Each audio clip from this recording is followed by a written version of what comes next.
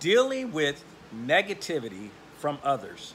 That's the conversation we're going to have here today on Self Love Monday. How you guys doing? This is Ron Simplified Myers, author, podcaster, and your uplifting life partner.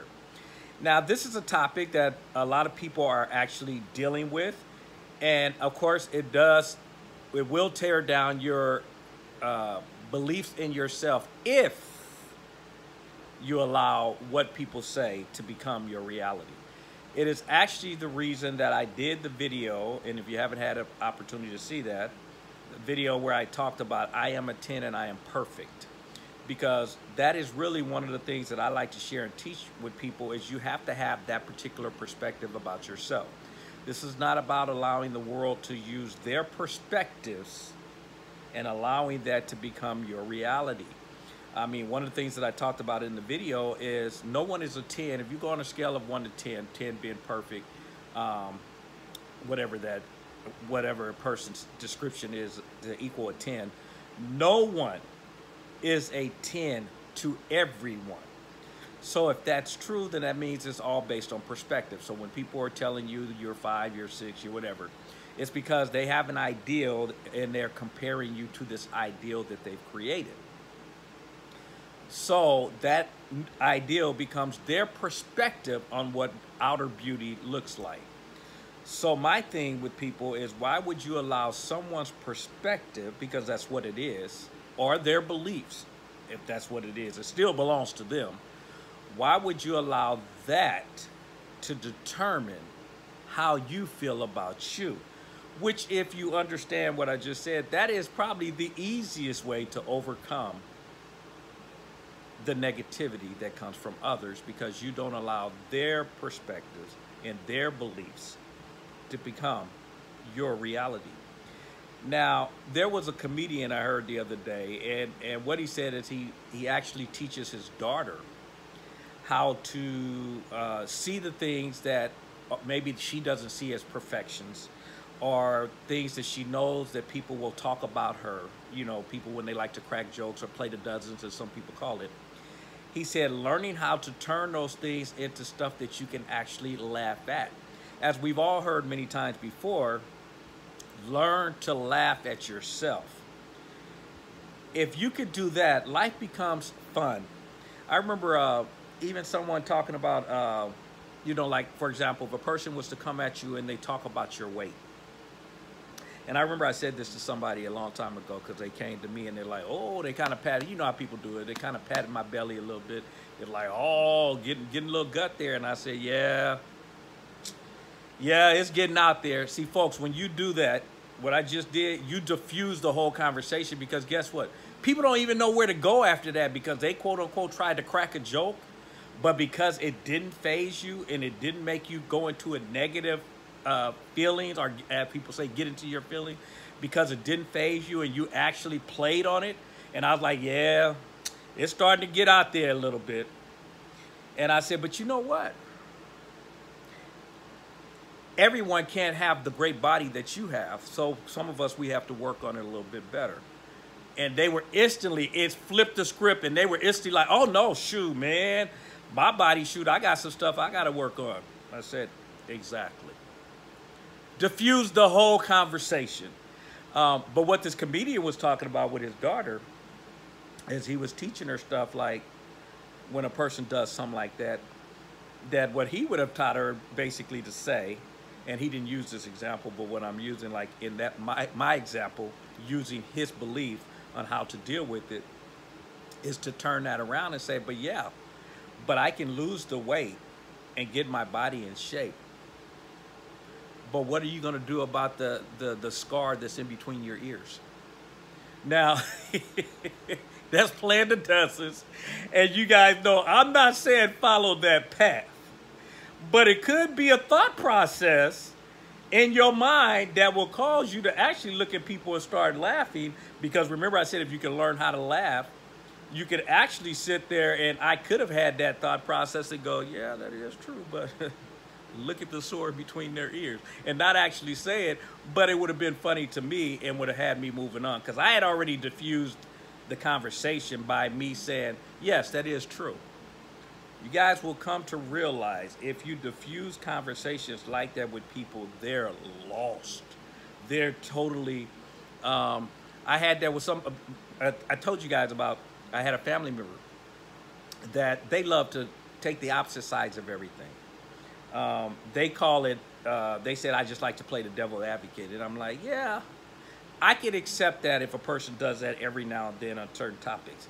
But when you do it on every single thing, even if you agree with the person, you take the opposite just to get in a disagreement, then now you're just a pessimist. And so, but this particular person, the way I learned to deal with that person was not to participate. And by that, when they said something negative, I just go, hmm. Or if they want to get into an argument, I go, okay, you got the right to that view. You guys see what I did? I diffused it. That also works with dealing with this negative situation because you can. When a person says that, you go, oh, that's a perspective. That's another way to see things.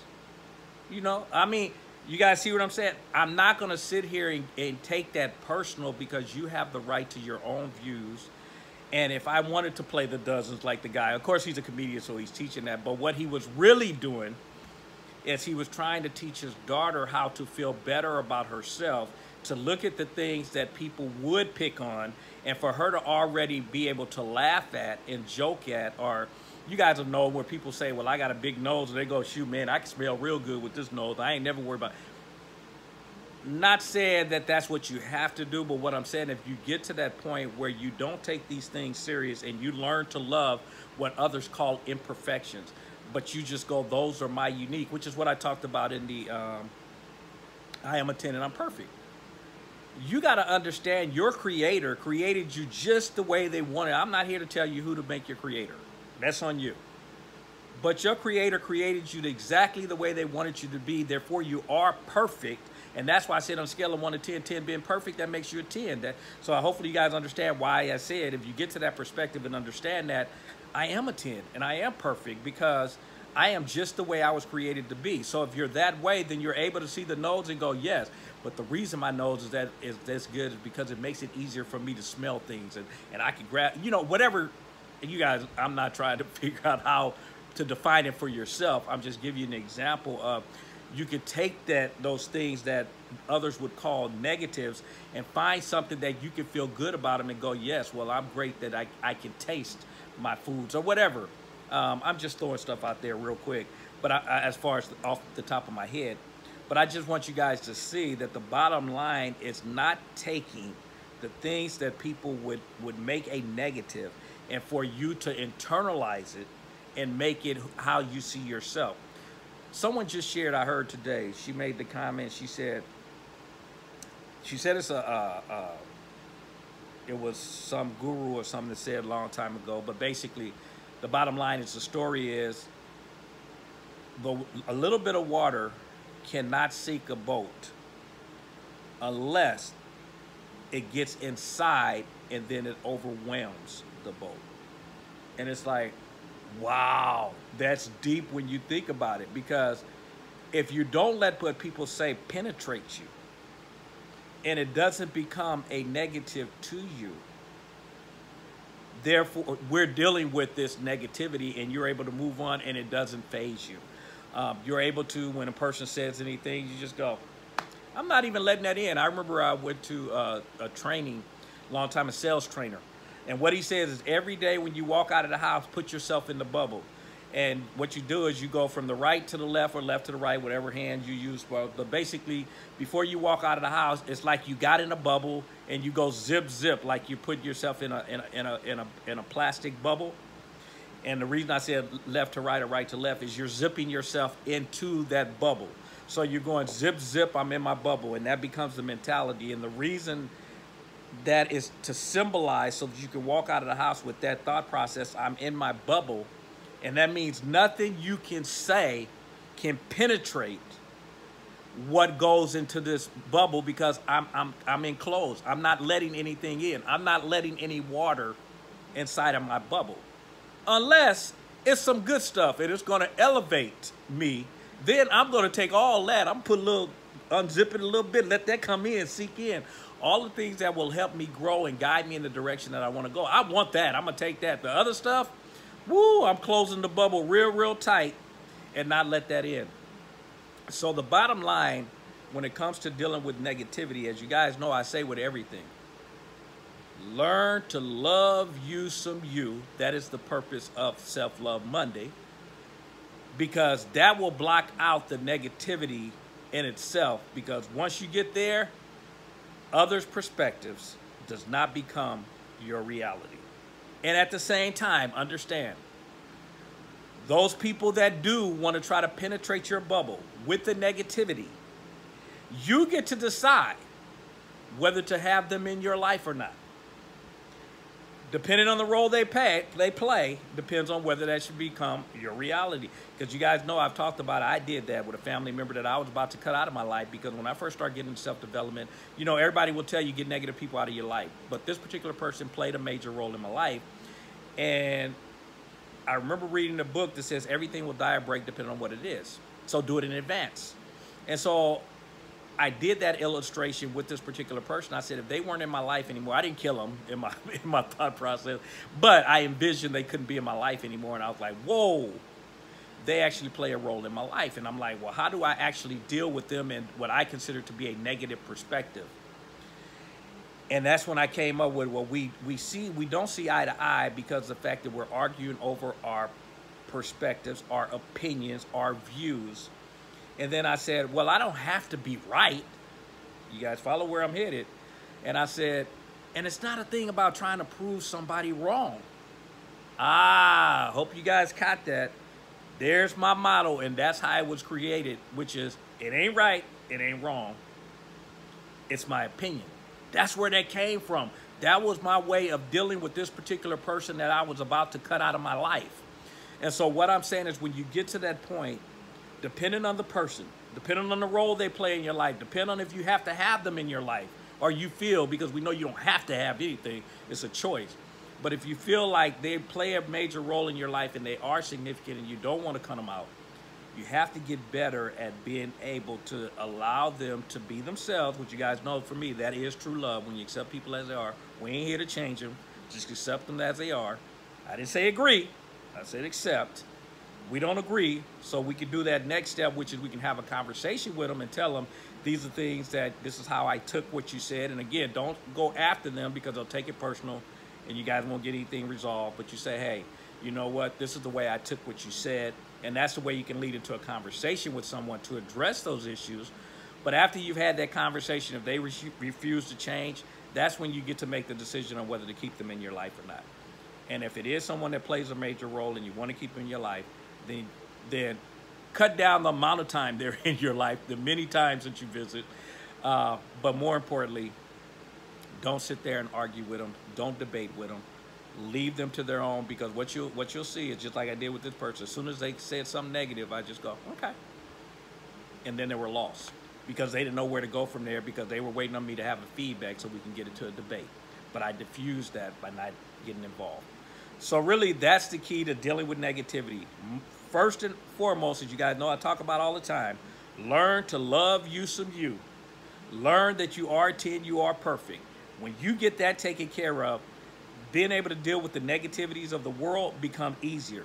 It also, as you guys know, makes it easier to attract a partner because the reality is then you're looking for someone who's headed in the same direction for you, with you, not someone that you have to block out the things or try to ignore their red flags or try to I had somebody say the other day, working with somebody with their red flags, she's like, well, sometimes as ladies, we just feel because we can help them, we want to help them through their red flags.